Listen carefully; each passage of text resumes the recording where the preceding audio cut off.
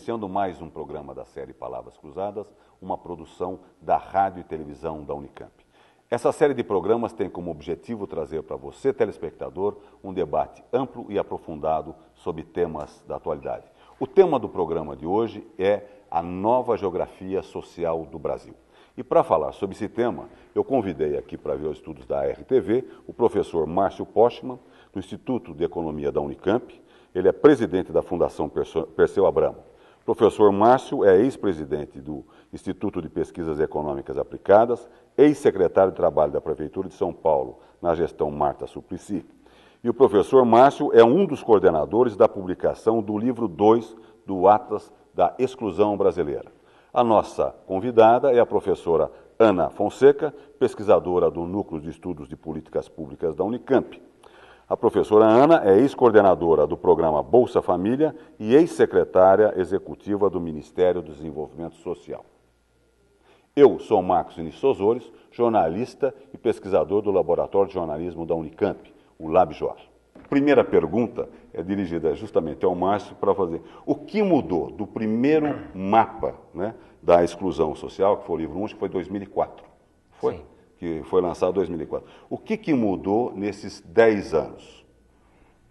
País, como é, que, como é que ele é hoje? Qual era o retrato que você tinha há 10 anos atrás e qual o retrato que tem hoje?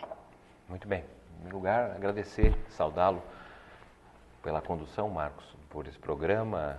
Também saudar a Ana, nossa companheira de trabalho aqui na universidade e também experiências fora da universidade e você que nos acompanha é, nesse bate-papo a respeito da uma questão geral do Brasil. É, o que mudou no Brasil nessa primeira década do século XXI é para nós motivo de é, grande alegria, porque o Brasil conseguiu combinar pela primeira vez, talvez nos últimos 60 anos, é, democracia, crescimento econômico e distribuição de renda, redução da desigualdade, que é um marco, porque infelizmente o Brasil não conseguia combinar essas três, esses três elementos chaves de um país moderno, de um país civilizado. Vamos lembrar, por exemplo, que nos anos 60 e nos anos 80, eh, anos 60 e anos 70, o Brasil, ainda sob o regime militar, cresceu muito mais rapidamente muito. que o período do, da, da primeira década dos anos 2000, no entanto, infelizmente, o regime autoritário eh, praticamente impossibilitou a existência de políticas de distribuição de renda. Embora a economia crescesse, não, não foi bem distribuído. E isso significou dizer que o Brasil, em 1980, era a oitava economia do mundo, mas também se situava eh, entre os três países com maior desigualdade do mundo, com 50% da população praticamente vivendo na condição de pobreza. É, pobreza. Né? Nos anos 80 e 90, que são anos importantes do ponto de vista da retomada da democracia, da construção da Constituição de 1988, que é um marco uhum. na história brasileira, nós tivemos então aí essa possibilidade de reconstrução da democracia, mas o Brasil praticamente não cresceu, não tivemos crescimento econômico e sem crescimento econômico não tinha o que distribuir. Portanto, nós tivemos inclusive um período muito ruim do ponto de vista econômico e social, porque o Brasil regrediu. Se era em 1980 a oitava economia do mundo, no ano 2000 baixamos para a décima terceira economia Sim. E, e ficou muito difícil lidar com o problema da pobreza, da desigualdade.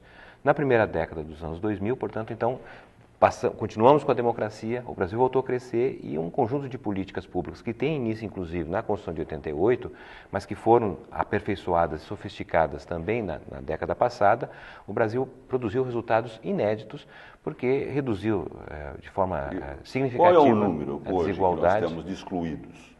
Hoje nós temos ao, ao redor, bom, é, ao redor de um quarto da população pode ser considerado excluídos a ideia da exclusão. O que, que é exclusão? É um, pois é, isso é um, um bom conceito, porque. o que, primeiro, o que é exclusão? É, eu até vou lembrar aqui é, de uma.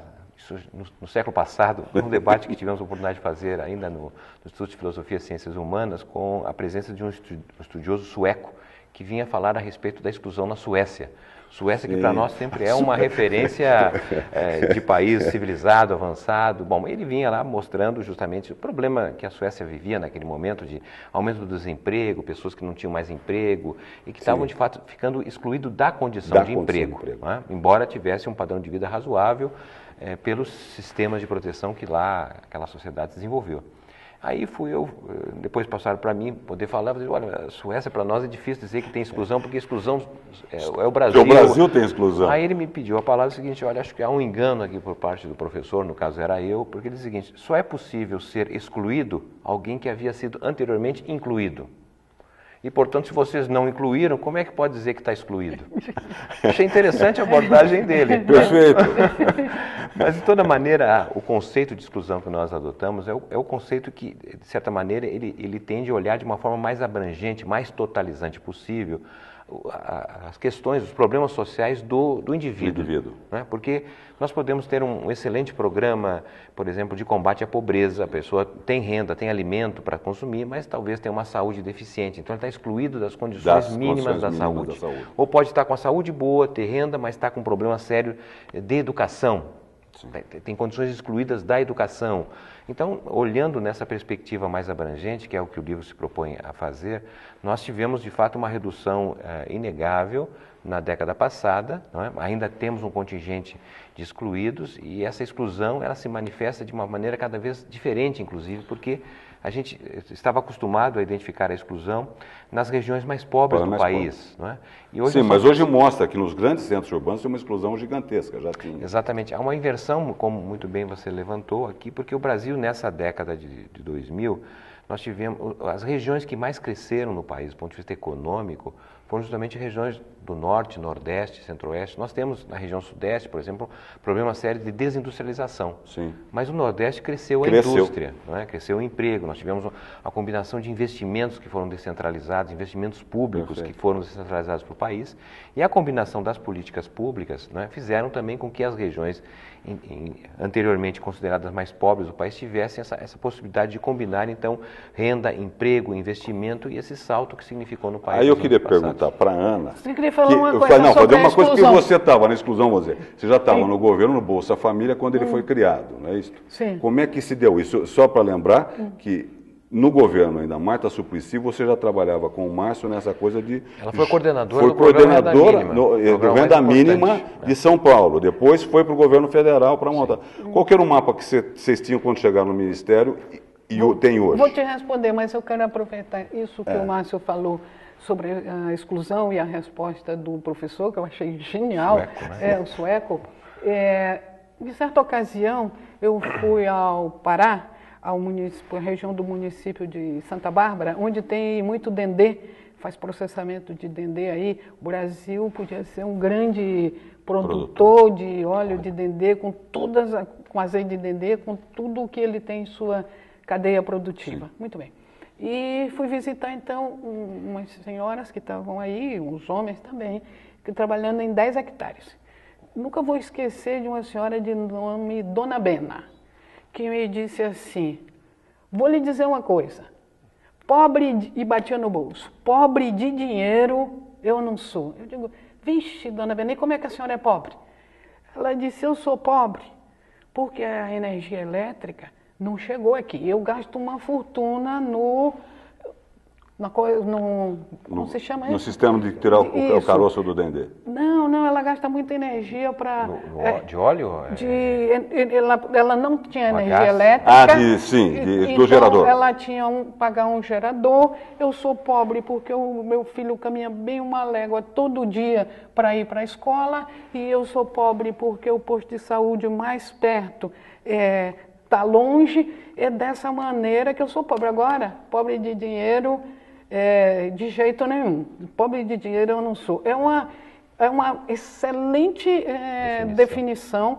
Quando fomos fazer o Plano Brasil Sem Miséria, a dona Vena estava sempre na minha cabeça. Uhum. Por isso que esse livro do Márcio eu acho que é muito importante e recomendo às pessoas que o leiam, porque a pobreza, como diria Tânia Barcelar, ela tem nome, ela pode ser analfabetismo, ela tem renda, Perfeito. ela tem acesso ou não ao saneamento, ela atende é, por, vários, por vários nomes. Né?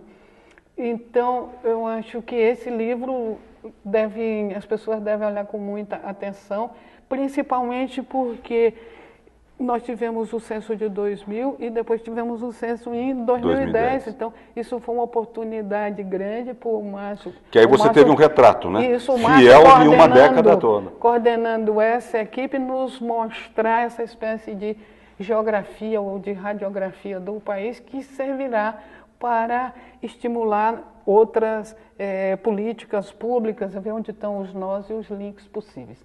Quando tivemos na Secretaria do Desenvolvimento, Trabalho e Solidariedade do município de São Paulo, o que fizemos e com então o secretário Márcio foi tentar fazer. São Paulo é um país, né? Sem dúvida. São Paulo tem a população de muitos países da nossa região da América Latina. Um sair de Mazilac, Parelheiros, Grajaú, na Zona Sul, ou ir para a Zona Leste, para o Lajeado, para aqueles lados, é todo um mundo. Muito bem. O que a equipe fez naquele momento lá para decidir, porque é sempre a pergunta, por onde começamos?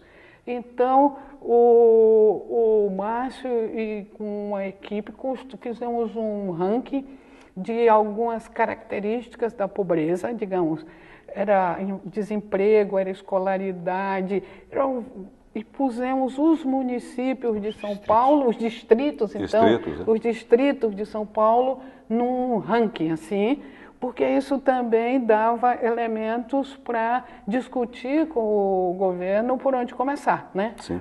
Onde começar é sempre um problema, porque se você escolhe começar em um lado, sempre alguém pode lhe dizer, essa é a área de fulano de tal, está privilegiando o um vereador, bororô, bororô. Então tínhamos o ranking dos distritos de São Paulo, por onde começar o programa e tínhamos recursos e tínhamos meta em distrito. Eram 13 distritos naquela ocasião. Foi assim que, que fizemos um programa e já tinha, eu acho, uma concepção articulada de como fazer isso.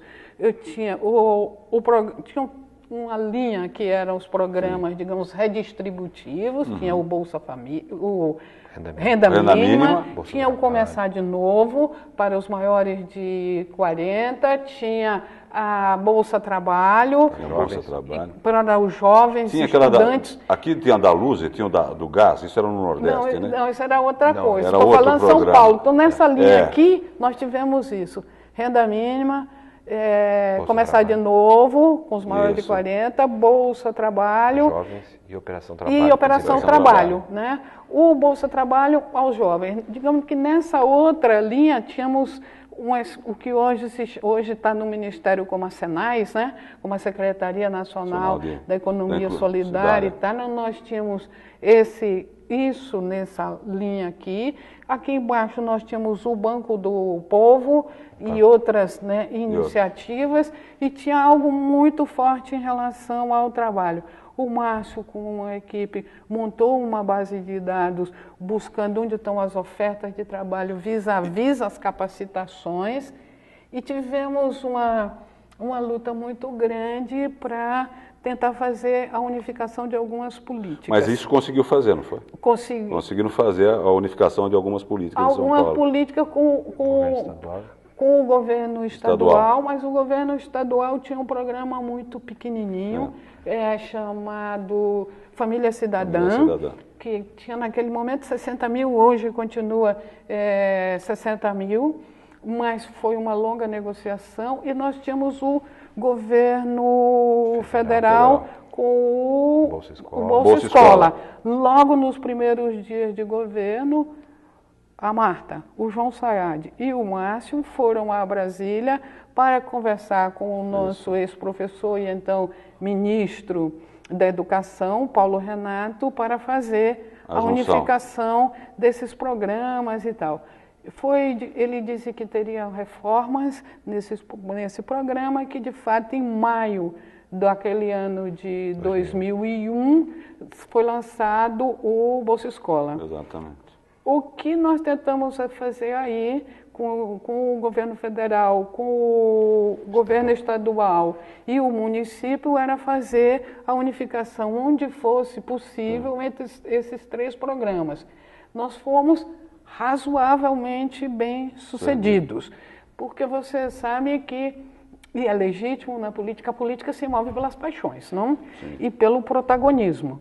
Então, é difícil é, fazer essas coisas. Nós começamos a fazer em São Paulo. Quando as pessoas perguntam do Bolsa Família, eu digo, o Bolsa Família Foi. se inspirou no em, modelo, de São, no modelo, modelo de, São de São Paulo. E não é por qualquer outro motivo que eu fui convidada a coordenar o pra programa. Coordenar o programa. Porque o que, que tinha? Tinha uma pessoa que tinha tido a experiência de fazer isso no Sem concreto. Então, foi, é nesse sentido. Sim, teve um mapeamento, teve critérios para a seleção dos distritos por onde começar. Tivemos e não era só distribuição de renda, desde o princípio não a questão só, não é só distribuição não de é só distribuição que eu acho que é o que entra no que o Márcio fala, quer dizer, o que É. você falou, não é o que falta, não é só o dinheiro, Sim. são os outros serviços, né? Mas nós vamos ter que fazer um breve intervalo, nós voltamos já já com o nosso Palavras calma, Cruzadas porque se fosse só isso, seria como a Bete Carvalho, dinheiro na mão é vendaval, Dinheiro né? na mão é se, vendaval. Você, se você não junta com, Com- outras coisas, e se tu olha hoje, não sei se eu estou me agradando, mas se tu olhar hoje para o Bolsa, para o Brasil Sem Miséria, e olhar a Prefeitura de São Paulo, gestão do Márcio, para os, prog- ah, os programas, Ah. ele tem muitas semelhanças Semelhança. com esses programas. Eu tenho distribuído. Bom, mas nós vamos ter que falar no próximo bloco. Nós estamos encerrando esse bloco, de- que tem como tema a nova geografia social do Brasil. Eu recebo aqui no Estúdios da RTV o professor Márcio Pocha, do Instituto de Economia da Unicamp, e a professora Ana Fonseca, pesquisadora do Núcleo de Estudos de Políticas Públicas aqui também na Unicamp. Mas eu quero deixar engatilhada uma pergunta para o próximo bloco, com essa coisa dessa ascensão que se chamou da nova classe média, né? E discutir um outro livro que, você, que vocês publicou, que chama A Nova Classe Média, se não me engano. Nós voltamos já já com nossas palavras cruzadas de hoje.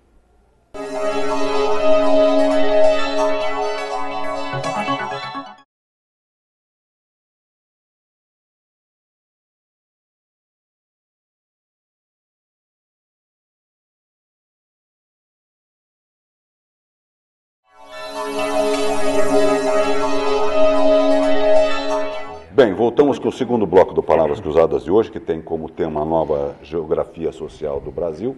Eu recebo aqui nos estudos da RTV o professor Márcio Postman, do Instituto de Economia da Unicamp, e a professora Ana Fonseca, que é pesquisadora do Núcleo de Estudos de Políticas Públicas.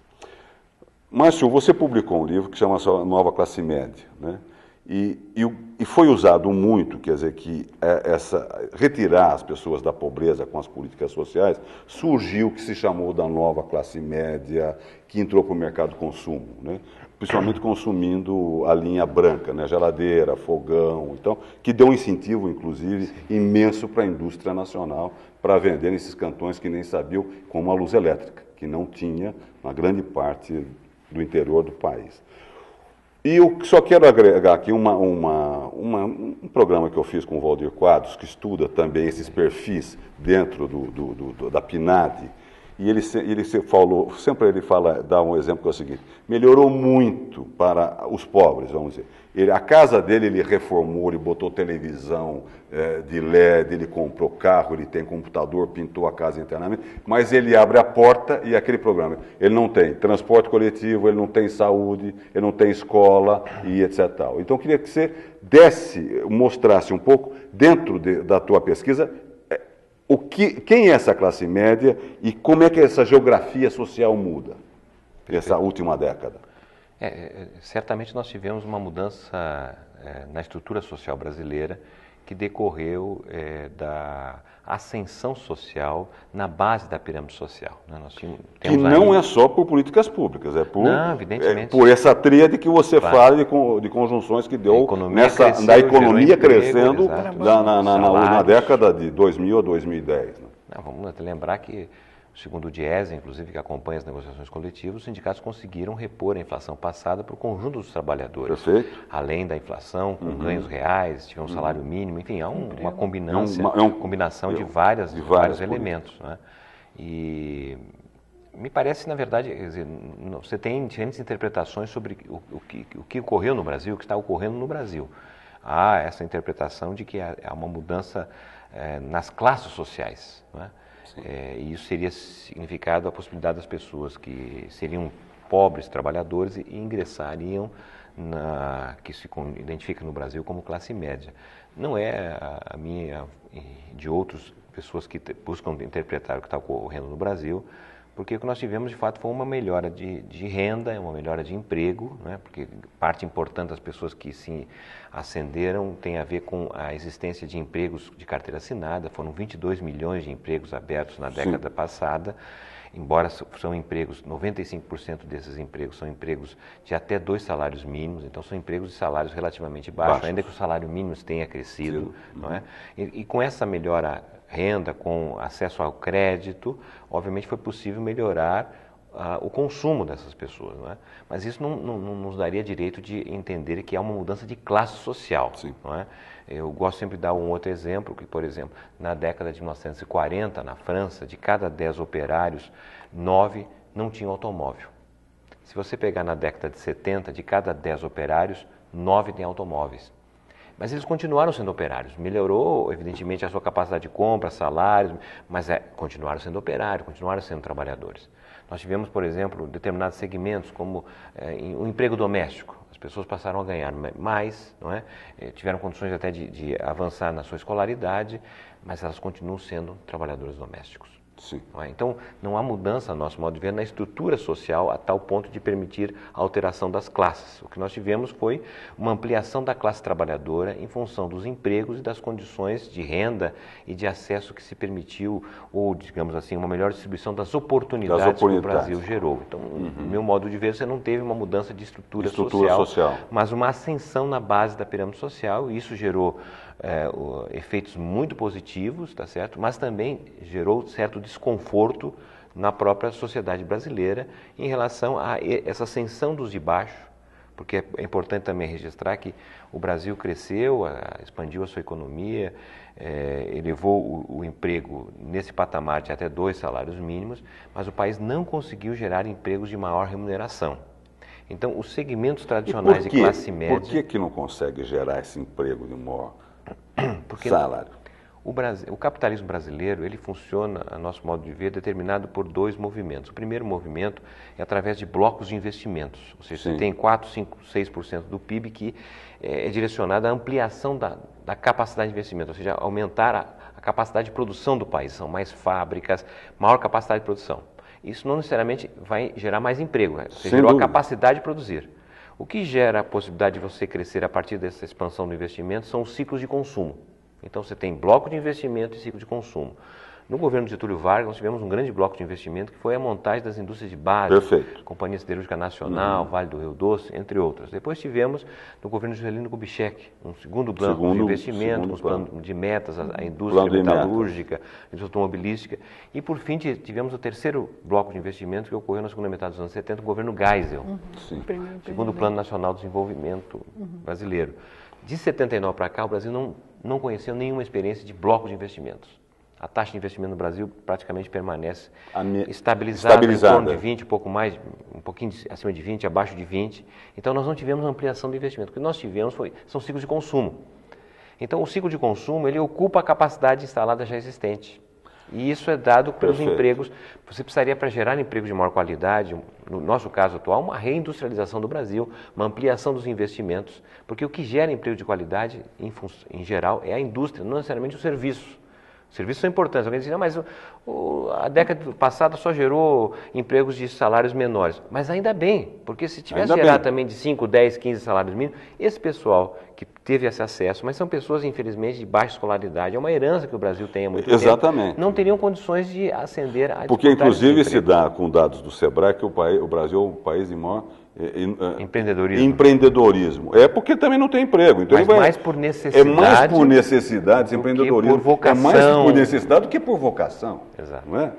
Que é, é diferente do modelo de outros países, por exemplo, né? como a França, que você ah, tem, sim. que é, na verdade, muito mais de TI do que qualquer outra coisa, esse empreendedorismo. Né? É, é, eu acredito que é uma dificuldade no Brasil você sustentar um pequeno empreendimento. É mais fácil você abri-lo. Abriu. Agora, sustentá-lo, É- obviamente, é mais é mais, difícil. mais difícil. Porque nós não temos ainda, apesar dos avanços que ocorreram, os, os simples. Mas eu quero insistir nesse ponto com você, dessa, dessa questão industrial que nós não temos. Porque a gente vê isso na imprensa e, e- e ninguém explica, na verdade, o que, que seria um, um novo plano industrial para melhorar o país qualitativamente. Eu acredito que não é possível pensar numa industrialização brasileira, ou política industrial, que representasse o passado, ter o Brasil ter uma indústria complexa, diversificada, produzir de tudo. Isso é muito difícil nos dias de hoje, porque você tem um novo padrão de produção, que muitos dizem as chamadas cadeias globais de produção, com as grandes empresas.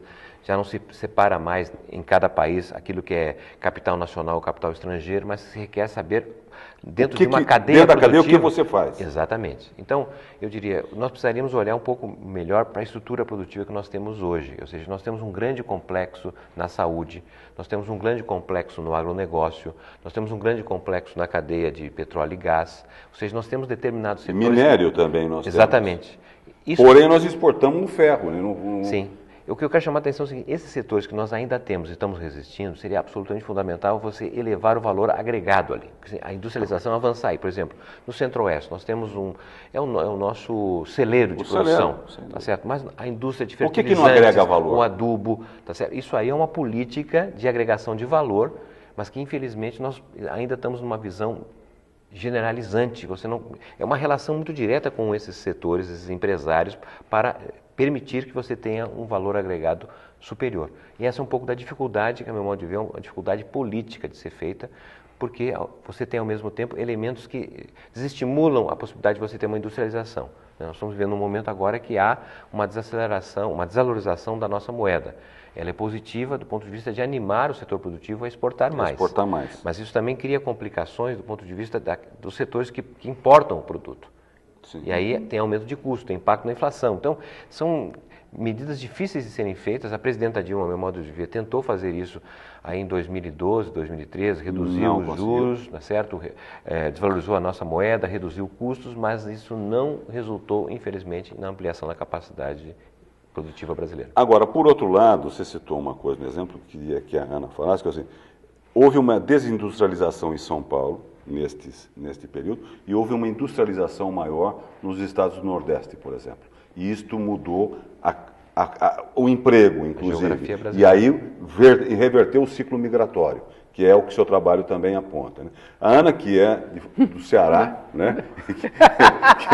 Olhar- como, é, como é que fica, como é que você vê esta, essa mudança desse ciclo que foi para o Nordeste, que o crescimento do Nordeste é muito maior do que o crescimento que ocorre no sul do país e no sudeste do país. Sim, o é isso? acumulado, O certamente. pro- acumulado certamente é muito mais alto.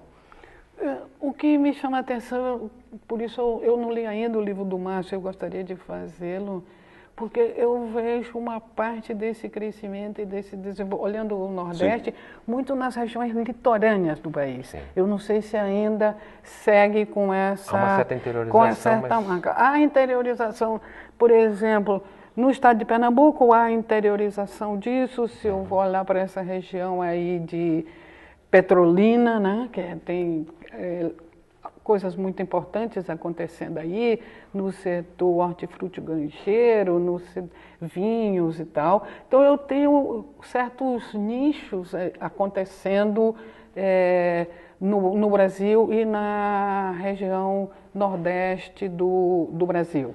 Mas, de maneira geral, se tu olhares o mapa eh, do Brasil, e aí talvez ah, possamos ver no livro que o Márcio coordenou, é que as, as, regiões, as áreas mais desenvolvidas do Brasil são, são por tradição, as áreas litorâneas. litorâneas.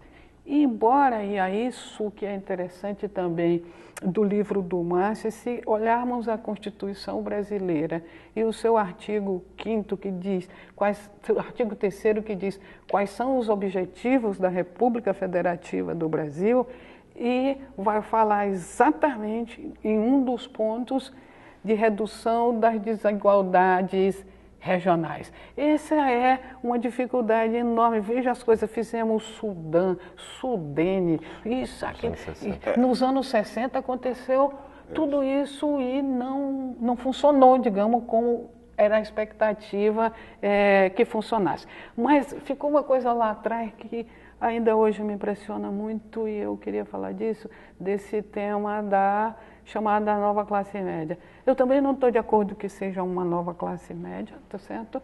E o que nós nunca tivemos, talvez porque nunca tenhamos tido a experiência de ampliação do certo bem-estar aos mais pobres. Uhum. É isso, é isso que você falou que tem, ó, compra uma geladeira, compra uma televisão, compra um celular, compra tal coisa, amplia, digamos, o, o bem-estar. O bem-estar doméstico. O, o bem-estar né? doméstico é um pouco assim respeitadas as proporções, nos anos de ouro do pós-guerra, era toda essa indústria, os automóveis, né? os refrigeradores. O...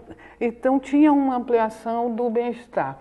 E algum acesso, um acesso ao qual é, nós não, a nossa sociedade não está habituada.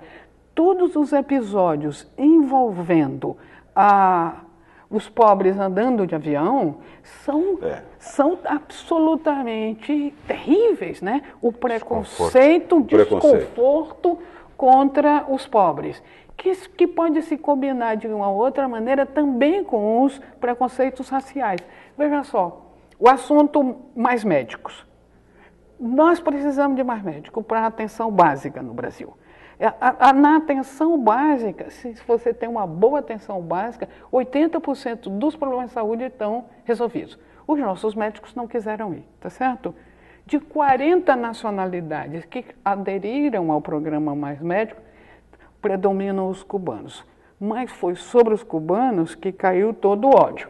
A ver o exemplo da recepção desse grupo lá, lá em Fortaleza. Fortaleza. E aí você, aí veja que coisa, vejam que coisa terrível, porque é uma migração qualificada, eles são médicos, tá certo? Necessária ao país, e eles são ditos, volta para a senzala, gorila, e não sei o quê. Exatamente. E uma declaração de uma jornalista dizendo, não é um médico, não tem aparência de médico, mas parece uma empregada doméstica. Então nós combinamos, tudo essas coisas afloram, né? Aflo, aflo, afloram. E agora olhando pelo outro lado, bom, aumentou o bem-estar. Mas como é que estamos lendo mais? Tem mais livros, estamos lendo mais, estamos indo mais ao cinema.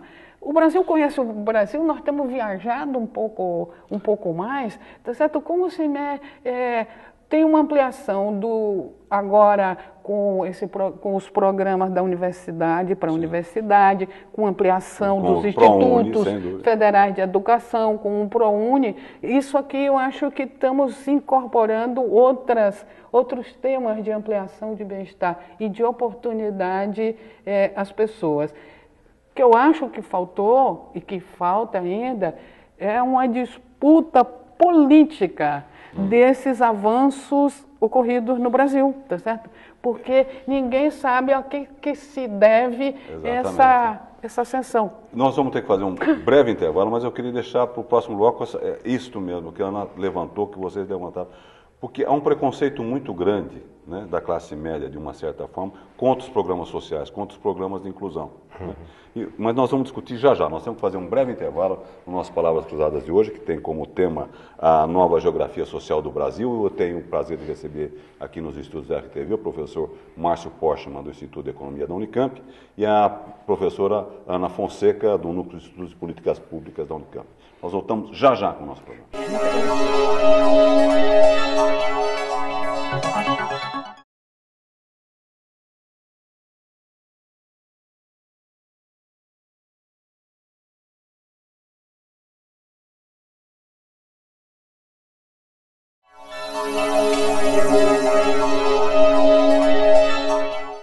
Voltamos com o último bloco do Palavras Cruzadas de hoje, que tem como que tema Nova Geografia Social do Brasil. Eu recebo aqui nos estúdios da RTV o professor Márcio Postman, do Instituto de Economia, e a professora Ana Fonseca, do Núcleo de Estudos de Políticas Públicas.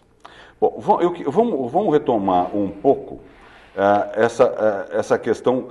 Uh, por que, que se tem tanta, tanta crítica aos programas de inclusão no Brasil, principalmente pela imprensa? Por que vocês têm tanta crítica a todos os programas de inclusão? crítica, a crítica, inclusive, vem é, reduzindo-se. Ela já foi muito mais intensa. Já foram muito mais é. intensas, reduzidas. Nós tivemos, inclusive, lembrando aqui o, o programa na, na educação de inclusão de cotas, por exemplo. Né? Teve um partido político que entrou, inclusive, contra... Com ação na justiça? Na justiça. Contra no, as cotas? No Supremo Tribunal Federal. Dizer, na verdade, vamos reconhecer, o Brasil é um país que se constitui a partir da desigualdade. A desigualdade é a nossa marca. E o enfrentamento da desigualdade gera certamente descontentamentos, porque um país que se constituiu em cima de monopólios, chamados monopólios sociais, né? o monopólio da educação, o monopólio da saúde. Na medida que você vai mudando isso, isso vem com a Constituição de, de, 88. de 88, obviamente vai gerando um certo desconforto. Mas esse desconforto eu diria assim até que é natural se você tiver capacidade de dar continuidade e resultados bastante efetivos.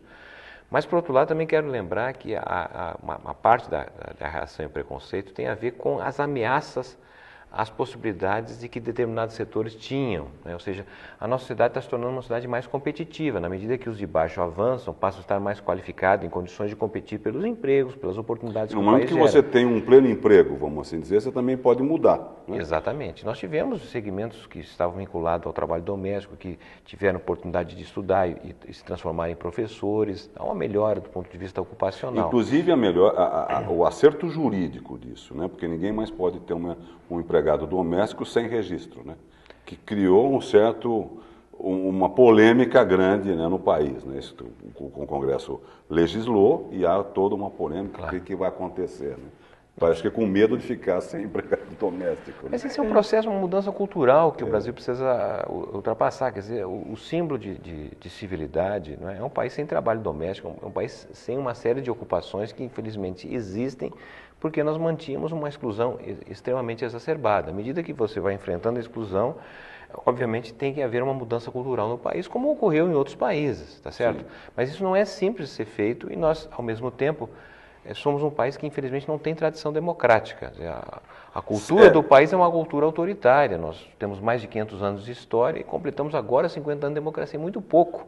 Muito então, pouco. É, é, Concordo. Essa de, de, dificuldade do diálogo, não é, o preconceito e também até para vou passar aqui para a Ana que tem muito o que dizer certamente, mas o avanço da tecnologia de informação terminou, meu modo de ver, né, gerando uh, os valentões do Facebook, quer dizer, a agressão que, de certa maneira, vai desconstituindo as oportunidades de, de construir o convencimento pelo diálogo, pela tolerância. Né? É um livro interessantíssimo de um é, estudioso norte-americano que mostra que a sociedade está caminhando para cada vez mais ser uma sociedade polarizada, porque as pessoas se reúnem em torno é, da tecnologia de informação, da internet, Facebook, seja quais forem os mecanismos, e se identificam cada vez mais com os que pensam iguais e Sim. não pensam diferente. E a sociedade exige pensar diferente, ouvir o outro, ser convencido. Isso é uma cultura que, de certa maneira, começa a ser comprometida pelo tipo de diálogo enfraquecido que nós temos também Porque, na verdade, o que a internet permitiu foi isso, né? uma grande fragmentação. Né?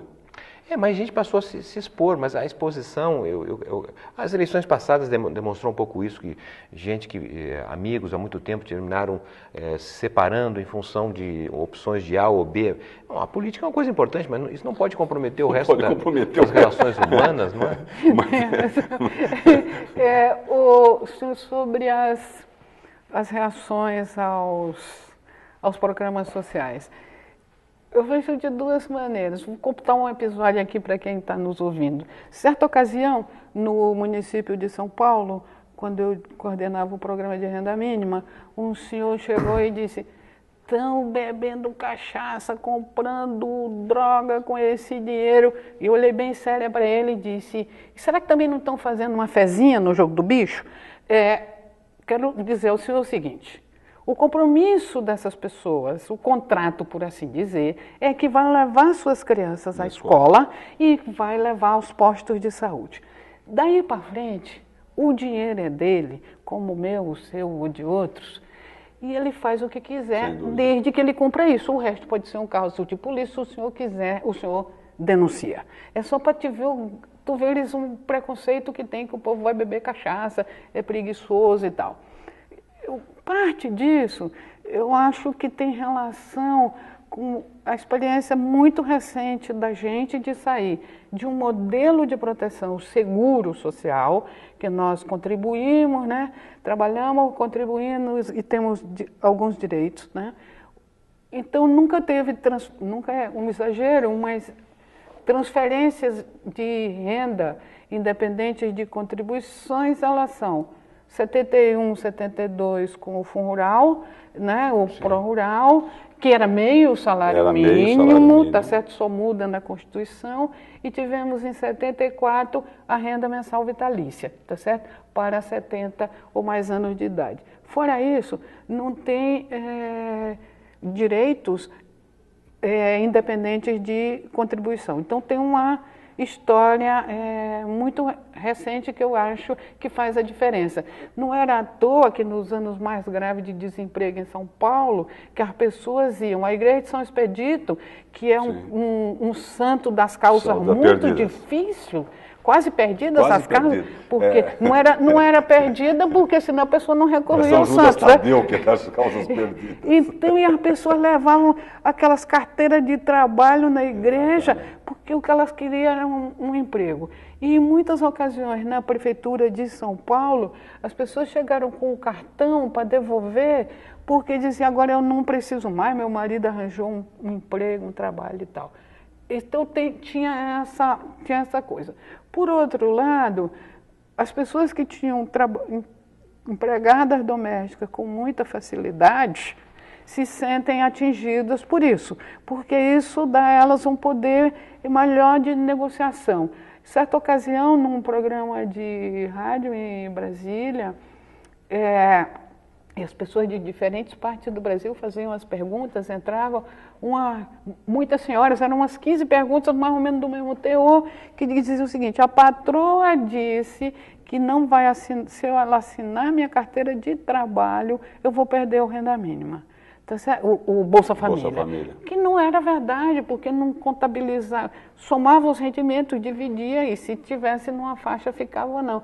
Então tu vê como tem uma manipulação para conseguir isso que o Márcio estava dizendo, uma mão de obra assim pacífica, manipulável. É porque, na verdade, os nossos então, pactos políticos ao longo da história foram ficando sempre... capenga. Mesmo o Getúlio, quando fez o pacto, ele esqueceu a população rural, tá certo? Sim, fez sim. o pacto para a população urbana e a população rural ficou fora. Na verdade, ele não esqueceu, né? É, ele não esqueceu, é, mas não entrou no não entrou no pacto que isso foi sendo corrigido nos anos 70. Foi uma restrição. era uma restrição. Quer dizer, esses grandes pactos sociais, eu acho que quando o Marcos cita aí, está falando que os pactos sempre foram feitos pela metade. Né? Quer dizer, quando você tenta fazer um grande pacto, um pacto nacional, baseado numa Constituinte de 88. Quer dizer, Sim. tudo que está se fazendo é baseado na Constituinte de 88. Não é certo? Que ela é inclusiva. Sim, né? A questão é conseguir incluir né, com um país que cresce pouco hoje em dia. Sim. Como é que você vê o futuro hoje com esse crescimento baixo do, do país?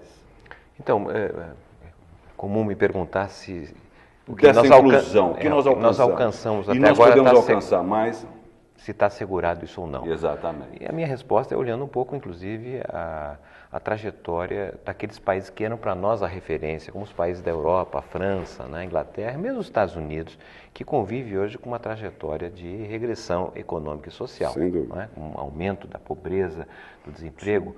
Ah, a Espanha está com 25%. 25%. E mesmo a Grécia está com mais de 20%. Portugal atinge mais de 15%.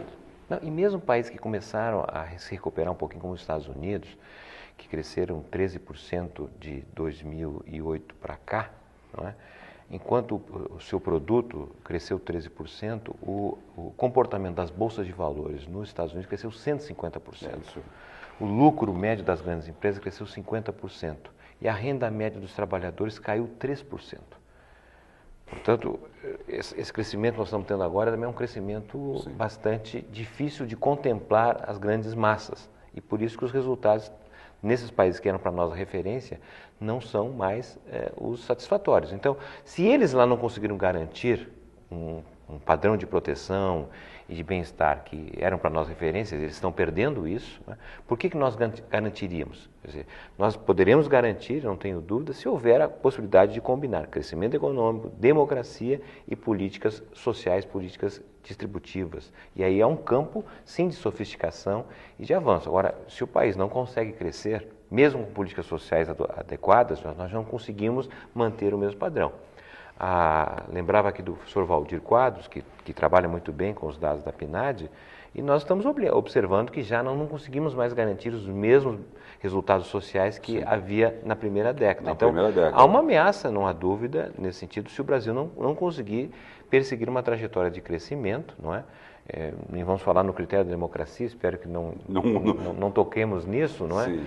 E eh, não tenho dúvida que é possível aperfeiçoar mais a questão da, das políticas sociais ou políticas que voltam para a distribuição. Uma delas, inegavelmente, é a questão tributária no Brasil, hum. muito isso, mal colotada. Eu, eu, queria que você explicasse, você inclusive cita isso né, no, no, livro, a questão tributária. O que, que seria ideal de uma, de uma questão tributária? Então, a tributação é um pacto, porque nós temos, de certa maneira, uma carga tributária, uma arrecadação de impostos, taxas e contribuições comparadas a tudo que o país produz, relativamente elevada, em torno de 35%, 36% do PIB. Não é? No entanto, não é uma carga tributária homogênea, porque ela não, não atinge todos da mesma forma. Tem determinados segmentos que pagam muito e tem outros segmentos que praticamente não pagam não nada. nada. Infelizmente, no Brasil, quem paga mesmo imposto são os pobres. Quem ganha até dois salários mínimos, praticamente paga 40% do que ganha, quase um salário mínimo, quase a metade do que ganha, e na forma de impostos, porque a estrutura tributária que nós temos é uma estrutura tributária regressiva, através dos impostos indiretos, que estão lá quando a gente compra um, um litro de leite, está lá o imposto embutido, Perfeito. a gente não fica sabendo. Não é? Quem ganha 30 salários mínimos e mais, por exemplo, é, arrecada alguma coisa em torno de 20% do que ganha, a metade do que o pobre paga. Então, há uma má distribuição da carga tributária no Brasil. Isso precisaria ser enfrentado. Mas essa resistência é que é muito grande, inclusive no Congresso. É, no Brasil é interessante porque quem mais critica os tributos são os que menos pagam. São os que menos pagam. É. Essa é, é a relação. Os que quem mais, mais pagam. Quer dizer, a questão que continua sendo não discutida é a questão das grandes fortunas, tá certo? Esse é um elemento importante. E as heranças, né? E das heranças. Quer dizer, ninguém discute isso. No mundo, as taxas de herança são altíssimas. Né? Bom, se nós olharmos o regime militar, por exemplo, tinha uma estrutura tributária melhor que a atual. Porque, por exemplo, no caso do imposto de renda, nós tínhamos inclusive é, faixas, faixas, de arrecadação que chegavam a 50%. Lá, lá, em cima, né? É, para níveis muito elevados muito de renda. Né? Hoje no Brasil a maior taxa que nós temos, a maior faixa é 27,5%. E sem falar que também as mudanças nos anos 90 terminaram tirando lucros, dividendos da tributação. De tal forma que hoje o imposto de renda ele é fundamentalmente sobre os assalariados. Então, há problemas certamente na questão da tributação. Se nós não enfrentarmos isso, nós podemos ter políticas distributivas melhores, tá certo? Mas continuamos arrancando o imposto de quem menos recebe. Isso é muito é, grave, isso que, que estamos vivendo e que o Márcio está falando, porque, olhando para o lado das políticas sociais, o princípio estruturante da proteção social é a solidariedade. Sim. Então, se você não arrecada, ou se olhar aí os países, sabe quanto se paga de imposto sobre a renda na Dinamarca? 67,5. Não tem várias faixas. A França tem mais faixa de renda, acho que o máximo da França chega a 45. É tentando aumentar é, para a fortuna para 70%, o Holanda. Nós não temos. Esses 27,5, né? Como, como piso. E teto. como teto, teto, desculpa, como teto. Então fica é muito difícil fazer a, a proteção social se não tem solidariedade, que a solidariedade é o seu princípio estruturante. Se a gente olhar as reformas na América Latina e Caribe, quando o Chile, por exemplo, que é um dos sistemas de proteção social mais antigo, começa a fazer as, as reformas sob a direção de grandes agências, instituições financeiras, como o FMI, o BID, o BID, tá certo? Eles criam um sistema substitutivo do sistema público das aposentadorias. e, privatizar o sistema privatizam que agora está quebrando no Chile, certo? Se privatizam Perfeito. tudo e não tem proteção. Aos demais, Exatamente. nada, tá certo? E três países fizeram reformas assim, outros fizeram um sistema mais misto, outros um paralelo. E aos pobres restou uma política inventada pelo um conceito que não é um conceito, não é seu conceito original, porque foi rebatizado, de focalização. Que a focalização, antigamente, era percebida como buscar onde estão os nós ao desenvolvimento. Agora a focalização passou a ser focalizar no mais pobre para resistir às crises.